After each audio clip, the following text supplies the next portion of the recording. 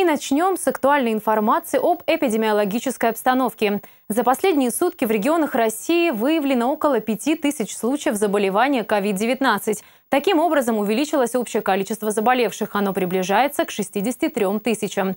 За все время пандемии от коронавируса скончались 555 человек. Только за последние сутки – 42. На оперативном штабе в Рио губернатора в режиме ВКС обсудили эпидситуацию в Ненецком округе.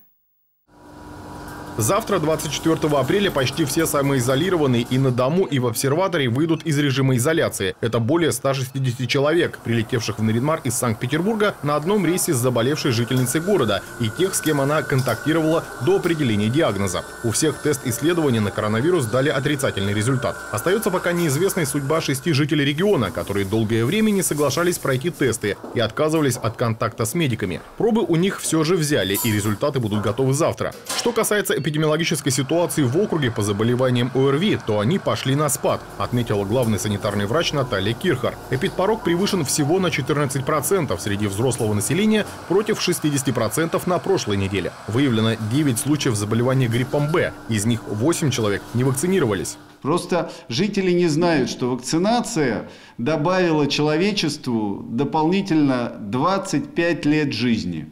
Ну, приблизительно, так эксперты считают. В ходе ВКС штаба обсуждался вопрос обеспечения лекарственными средствами и средствами защиты Ненецкой окружной больницы. По словам руководителя департамента здравоохранения Сергея Свиридова, на сегодняшний день медики обеспечены всем в полном объеме. Помимо этого закупаются костюмы химзащиты и многоразовые комбинезоны. Медики подготовлены, и мы, в принципе, готовы ко всем вызовам, которые могут возникнуть. На заседании штаба шла речь и о контроле за ценообразованием на продукты питания на территории региона. В Рио губернатор в этой связи дал соответствующие поручения поручения? Мы должны жестко контролировать цены на продовольственные товары и ну, не допускать роста цен в сегодняшней ситуации. Я понимаю, что накладывает отпечаток в целом э, то, что, скорее всего, ближай... ну, 24 числа закроется зимник, и э, в ближайшее время продовольственные товары смогут попадать нам только воздушным путем. И это, безусловно, их удорожает. Но роста цен мы допустить не должны.